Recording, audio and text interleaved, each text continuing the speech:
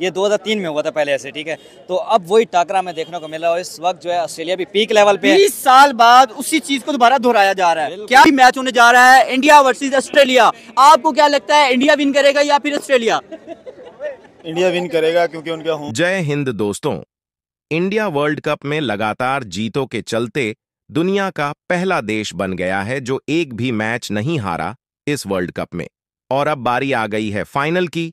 जिसमें ऑस्ट्रेलिया और इंडिया की टीमें आमने सामने होंगे।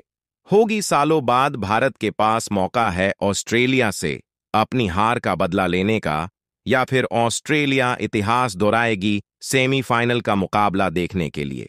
ऑस्ट्रेलिया के प्रधानमंत्री और हमारे प्यारे प्रधानमंत्री नरेंद्र मोदी क्रिकेट स्टेडियम में मौजूद रहेंगे और इस वर्ल्ड का मेन कुछ खास होने वाला है, वह है कल एयरफोर्स का शो।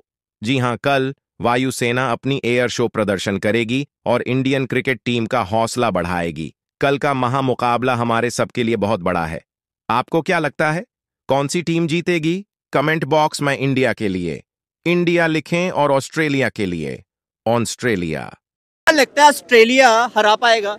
नहीं हरा तो नहीं पाएगा लेकिन ये है कि खुद हार जाएगा। खुद हार जाएगा। कांटेदार मुकाबला होने जा रहा है क्योंकि मैं आपको बताऊँ 2003 में जो हुआ था ना वर्ल्ड कप में वो वर्ल्ड कप का जो पहला मैच था वो ऑस्ट्रेलिया और इंडिया के दरमियान हुआ था। वहाँ पे ऑस्ट्रेलिया विन कर गया था। और जो वर्ल्ड कप का फाइनल था वो भी ऑस्ट्रेलिया और इंडिया के दरमियान हुआ था फिर भी ऑस्ट्रेलिया विन कर गया था। अब जो है इस वर्ल्ड कप में 2023 में पहला मैच जो है इंडिया और ऑस्ट्रेलिया का इंडिया विन कर गया। तो अब फाइनल भी उनका है तो इंडिया विन कर जाएगा। किधर से उठाए मेरी बात सुनो। प्रीवियस मैचेस का ना प्रीवियस रिकॉर्ड का देखना ही छोड़ दो। प्रीवियस मैचेस में ऐसी टीम थी इंडिया की? ये इंडिया की टीम इस वर्ल्ड कप में जो नज़र आ रही है प्रीवियस वर्ल्ड कप में थी नहीं थी। इसलिए उन्होंने उठाए हैं, जो आप कह रहे हैं। 2003 में आपने देखा होगा इंडिया वर्सेस जो ऑस्ट्रेलिया का मध्य मुकाबले था जिसमें ऑस्ट्रेलिया ने हराया था। आपको क्या लगता है इस दफ़ा झुका पाएगा? उसमें प्रिंस शमी नहीं था ना इसलिए। अच्छा। उसमें वो विराट कोहली की परफॉर्मेंस नहीं थी ना। उसमें वो कैप्टनसी रोहित ने रोहित के हाथों में नहीं थी ना इसलिए। कल के मैच अगर बात करें ना इंडिया डेफिनेटली जीतेगा।